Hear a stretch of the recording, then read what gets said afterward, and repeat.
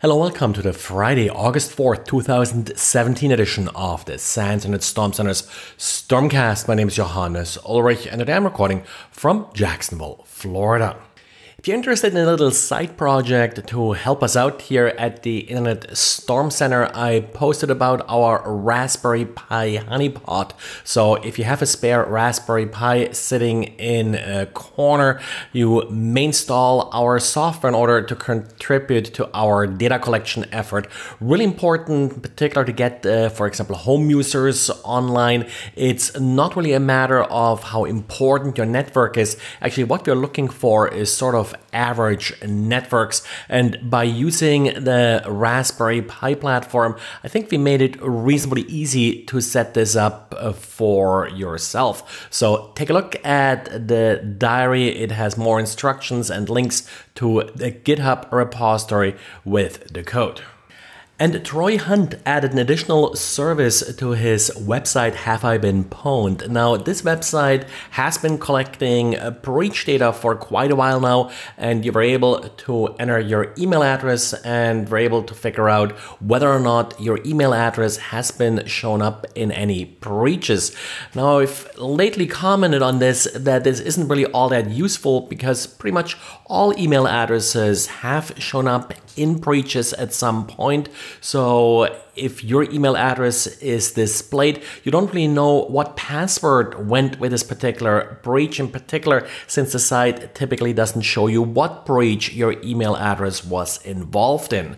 Well, uh, Troy Hunt now offered a new service for Have I Been Pwned, and that's a collection of passwords. It's somewhere in the, around 300 million passwords that Troy has accumulated via various online resources. Now, you don't get the email address going with the password, of course, but you can just download all these 300 million passwords, or there are APIs and various other queries that you can use to check if a certain password is inside that list. I think this service is useful for a number of reasons. Now, Troy specifically says that you probably shouldn't really enter your real password into a site like this, but uh, then again, you can also just enter a SHA hash. That's another option that's available, and uh, you can use that kind of to demonstrate to people that their password has probably been leaked. And of course, for penetration testers, that's a real great resource.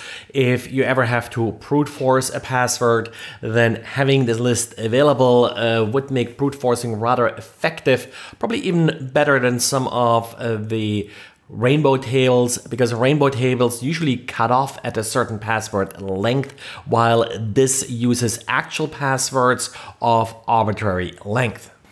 And the NPM blog reports that there has been yet another attack against NPM, which is the packet managing system behind Node.js. Just like with any popular language, there is a rich repository of NPM packages that developers can use in order to help them augment their code. And on the same note, developers, of course, are able to upload packages they wrote via NPM. The problem is that there isn't really any validation, and what happened recently was that uh, malicious developers uploaded lookalike packages that looked very much like very popular packages that are commonly in, used in projects. So they essentially used the same name with an added dash or anything like that. And then other developers, of course, uh, fell for this, included these lookalike packages instead of the authentic one. Now, at first it looked like these lookalike packages did essentially the same thing. They were functional, but they they also exfiltrated data to a website. So whenever a developer would use any of these malicious packages and include them in their project, a user would then run the software, including that malicious package, and now data from the user system would be leaked to the author of the malicious package. So far, 40 packages were found and removed. There may be others out there. Now, there's some discussion now how to prevent this in the future by flagging any new package that uh, looks very much like an existing package. Apparently, they're already doing some spam filtering there for package names. We'll see what will work. This is, of course, a fundamental problem with all similar library repositories, and uh, yes, this certainly has been done against other repositories, not just against NPM.